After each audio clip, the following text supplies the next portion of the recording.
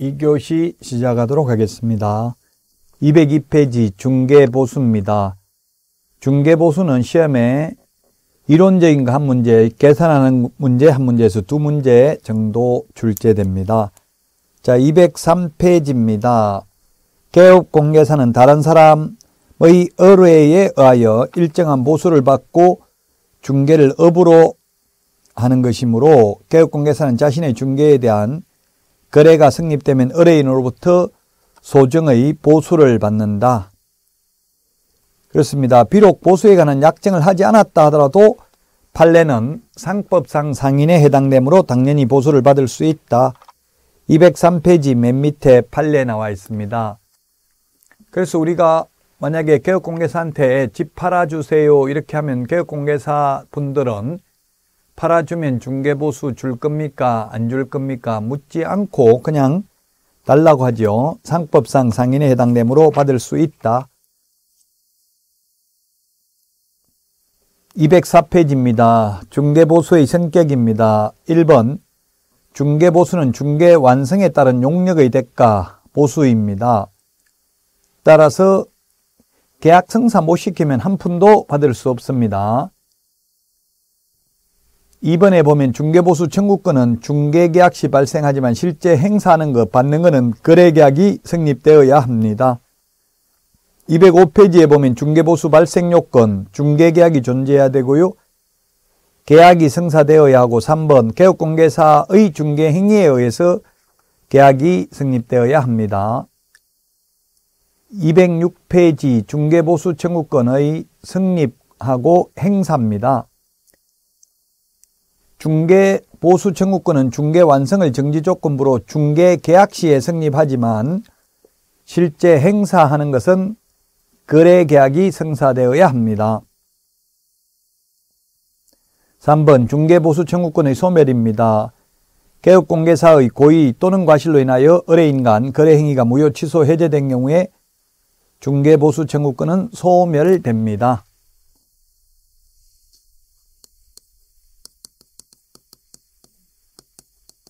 보수 청구권 발생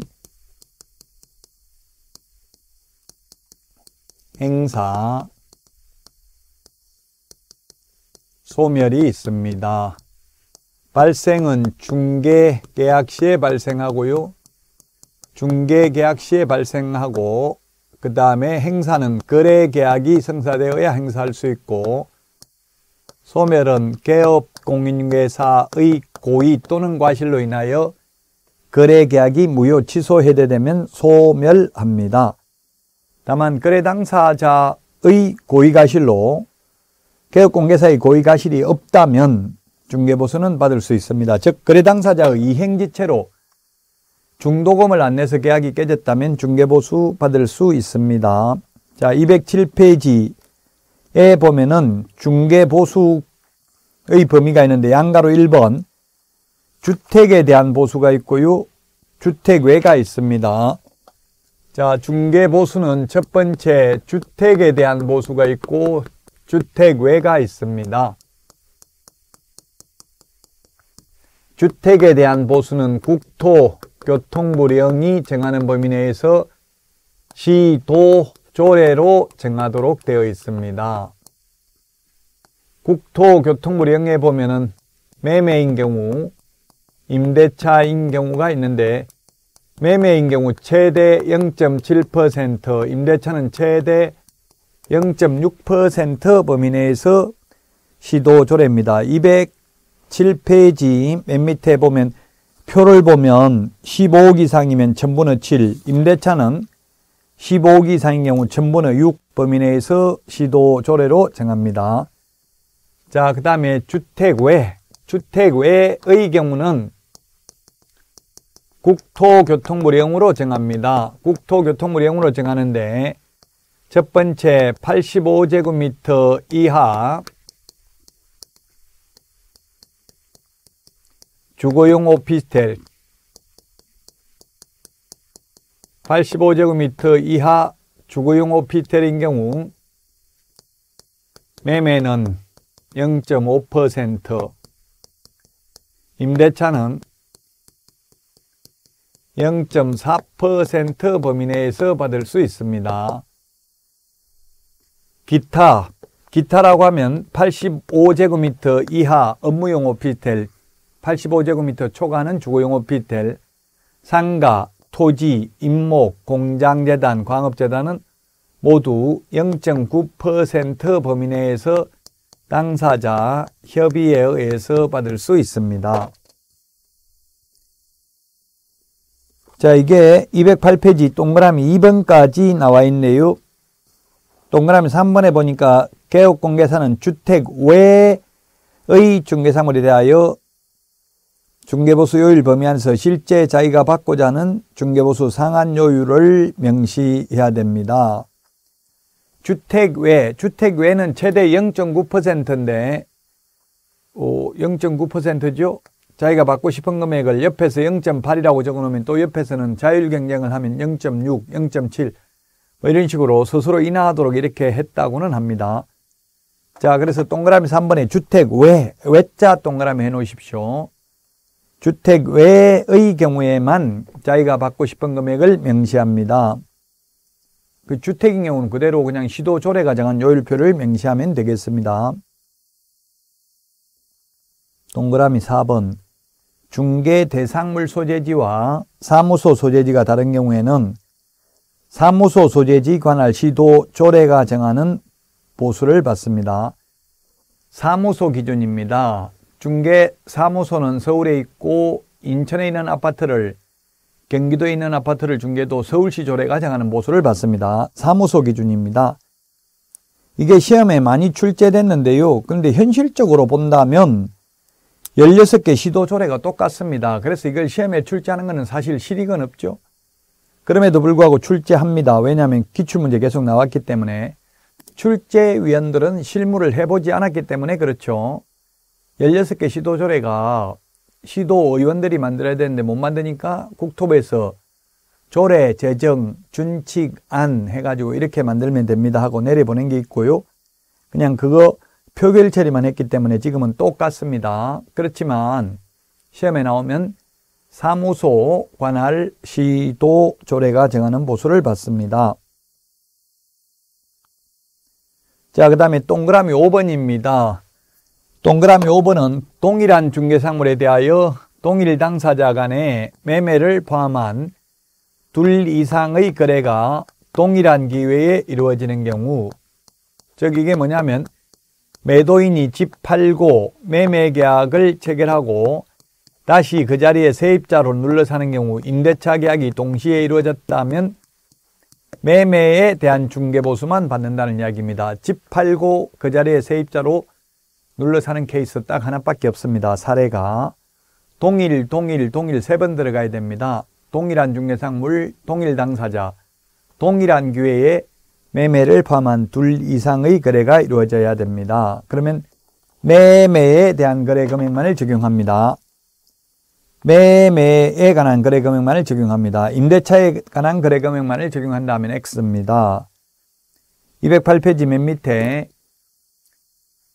주택의 면적이 2분의 1 이상이면 전부 주택에 대한 중개보수를 적용합니다. 2분의 1이 주택, 2분의 1이 상가면 전부 100%, 100% 모두 주택에 대한 중개보수 규정을 적용합니다. 209페이지 메뉴의 양가로 2번 한도액 초과한 중개보수의 약정의 효력입니다. 한도 초과 약정을 하면 전부 무효가 아니라 초과 부분만 무효가 되겠습니다. 초과 부분만 무효이다. 법정 보수가 100만 원인데 1000만 원 받기로 약속했으면 초과 부분 900만 원만 무효이기 때문에 부당이득으로 반환을 해야 될 겁니다. 이 초과해서 보수받으면 1년 이하의 전액이나 1000만 원 이하의 벌금 해차하고 등록을 취소할 수 있습니다. 5번 중개 보수의 산정입니다. 동그라미 1번에 보면 매매의 경우 매매 대금이 기준이 되고요. 단 분양권인 경우에는 실제 주고받는 돈입니다. 계약금, 중도금, 프리미엄까지 다 실제 주고받는 돈. 예를 들면 분양가가 5억이었다 하더라도 분양가가 5억 집값은 내려가고 있는데 분양가는 계속 올라가고 있죠.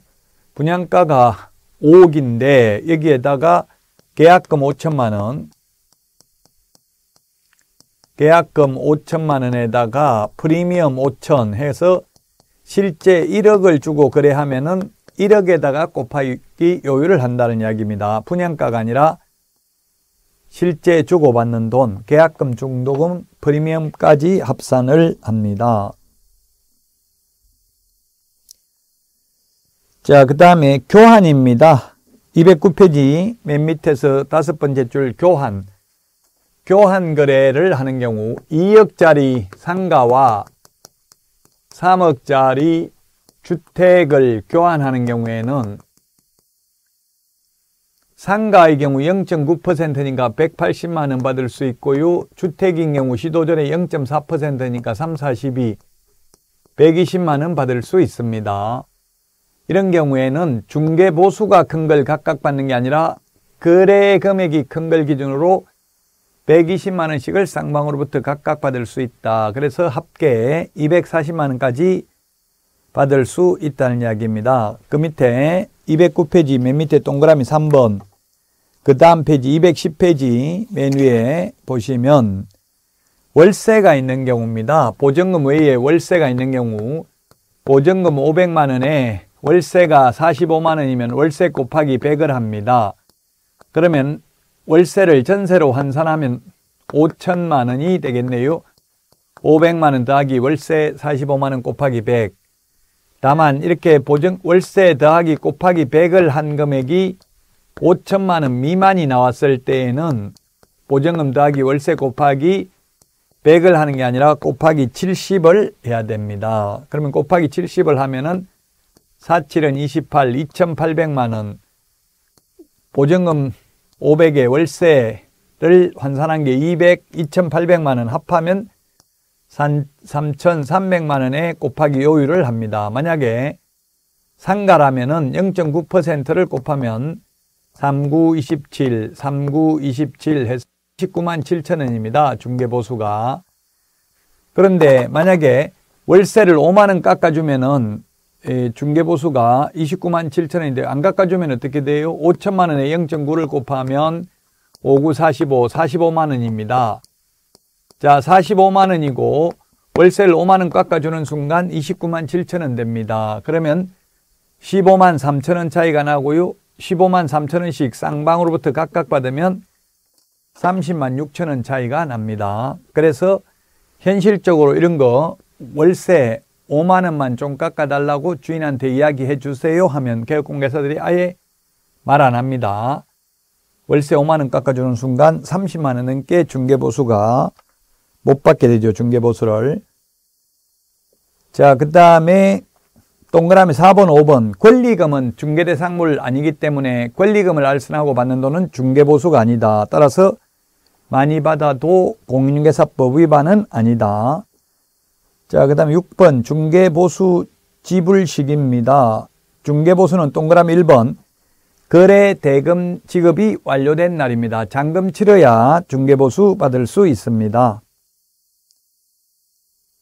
약정이 없으면 약정이 있으면 약정하는 날 받을 수 있고요. 그 다음에 6번의 동그라미 2번 중개보수에는 부가가치세가 포함되어 있지 않습니다. 중개보수 외에 부가가치세 따로 받아도 됩니다. 7번 실비와 영수증인데 예, 실비 받을 수 있습니다. 실비. 실제 들어간 돈 받을 수 있습니다. 그리고 맨 밑에 210페이지 중개보수 및 실비 영수증을 교부 보존할 의무는 없습니다.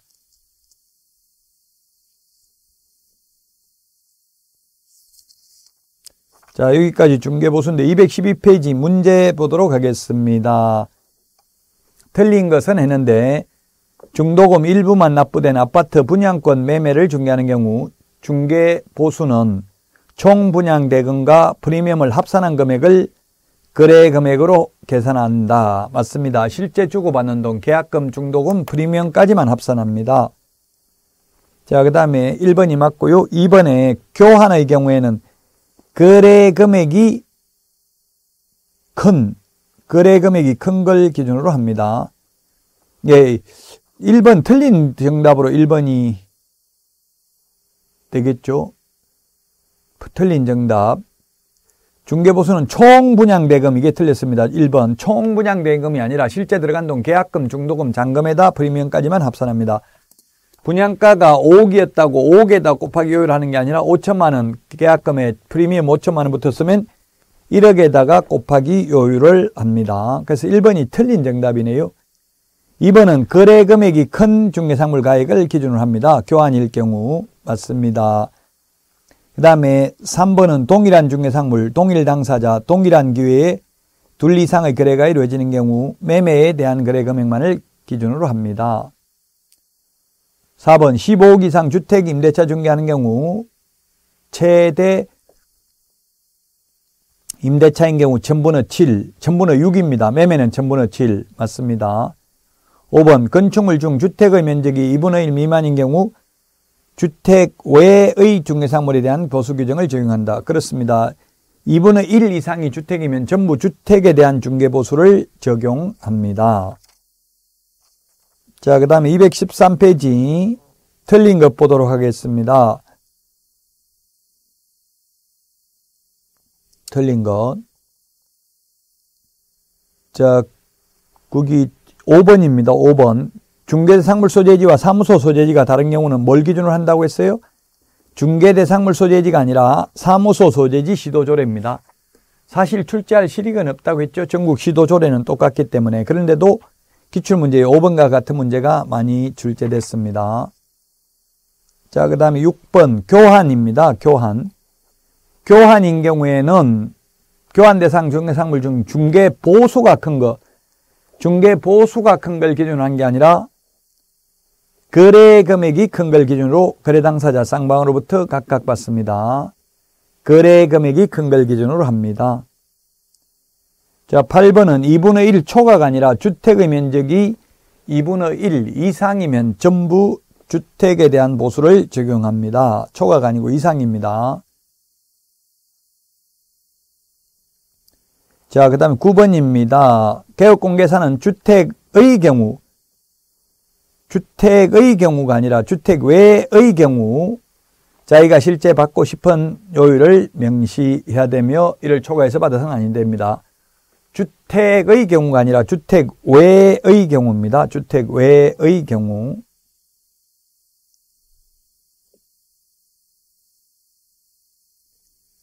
주택 외의 경우.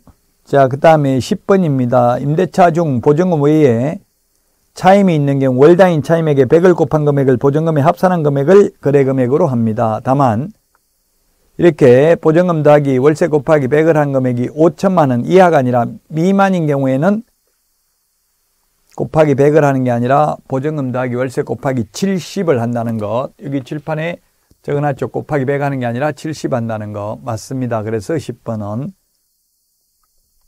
중개보수가 시험에 두 문제 출제됩니다. 그 7번도 동일, 동일, 동일 세 번 들어가면 동일한 중개상물, 동일 당사자, 동일한 교회 매매를 포함한 둘 이상의 거래가 이루어지는 경우 매매에 대한 거래 금액만을 적용한다고 했습니다. 동일, 동일. 자, 213페이지, 거기 옳은 것도 한번 풀어보겠습니다. 1번에 보면은 거래 성사되면 중개보수 받을 수 있는데 다만 개업 공개사의 고의가실로 무효 취소된 경우 받을 수 없습니다. 맞습니다. 그 다음에 2번은 매수 의뢰인으로부터 실비 받는 게 아니라 권리관계 등의 확인에 소요되는 실비는 매도, 임대 의뢰인으로부터 받습니다. 그래서 2번 X입니다. 3번에 주택의 중개에 대한 보수와 실비의 한도 등에 관하여 필요한 사항을 국토부령이 정하는 범위 안에서 시도 조례로 정하고 주택 외의 경우 국토교통부령으로 정합니다. 주택은 국토부령이 정하는 범위 내에서 시도조례고 주택 외의 경우 국 토 교통부령으로 정합니다. 4번 15억 이상 주택 중개에 대한 보수는 의뢰인 쌍방으로부터 각각 받되 그 일방으로부터 받을 수 있는 한도는 매매 교환의 경우 천분의 7, 임대차는 천분의 6 이내로 합니다. 15억 이상인 경우. 자, 여기까지 해서 중개보수에 대해서 살펴봤고요. 쉬었다가 215페이지 지도 감독부터 하도록 하겠습니다.